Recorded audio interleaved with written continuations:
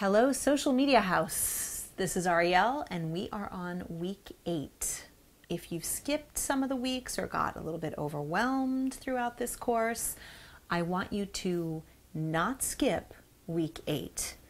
Week eight and getting this piece of your social media strategy and your online strategy right and firing regularly and consistently will be the difference between you making some money and more than some money. I promise you. Newsletters. Newsletters are critical and crucial and important. They are actually the most important piece of what you're doing online. Many of you probably have a newsletter list. You've got a newsletter sign up. We talked about that certainly when we talked about your website and where you should put the What's in It for Me bribe. We talked about it again in Facebook, where you want to have the newsletter sign up button on the fan page. And we've pretty much talked about newsletters in every single week of this course. But I want you to understand this.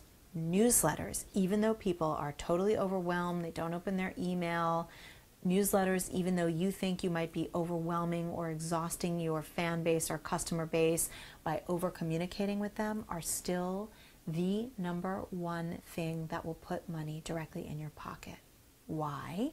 Because in a newsletter, you can put a direct call to action asking for a sale. The other reason why it is crucial and important to build your newsletter list ties directly into the final week, which I can't believe it is next week, where we're going to talk about fan funding um, or crowdfunding, um, and newsletters are the cornerstone of that. So, in this uh, in this whirlwind of a PowerPoint, we're going to talk about newsletter service providers, who's good, how to do it, how to sign up, we're going to talk about why you should be paying for a newsletter service provider. This is key.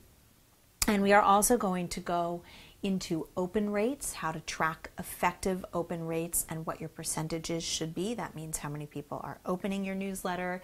And then we're going to talk about coming up with interesting and relevant themes for your newsletter. So you don't feel like you're carnival barking or just selling or saying irrelevant things once a month as you begin to implement a better newsletter strategy than the one you already have. So roll up your sleeves. It's time to dive into newsletters.